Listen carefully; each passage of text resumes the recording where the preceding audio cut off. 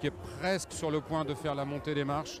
Un tout petit mot avec Adèle. Quel plaisir de te retrouver à Cannes, euh, Adèle. Dans quel état d'esprit tu es, ce soir il y, a, ce film, bien sûr, euh, mais il y, a, plein de choses qui te reviennent en tête là tout de suite? Euh, Non, vu que chaque film est une, expérience assez unique, euh, de monter avec Justine et tous les acteurs du film, Paul Ami, Neil Schneider, Arthur, Virginie Fira, bien sûr, c'est Enfin, j'ai pas besoin de venir à Cannes pour avoir la nostalgie de la vie d'Adèle. À chaque fois, c'est quelque chose de nouveau et de rare, donc je suis trop contente. J'en parlais à Gaspard, avec Gaspard à l'instant. C'est vrai que toi aussi, tu joues le rôle d'une comédienne. C'est toujours très particulier de jouer une comédienne dans, dans, un film. Il y a un vrai plaisir. Il y a un plaisir surtout à montrer la mise en abîme entre la fiction et la réalité.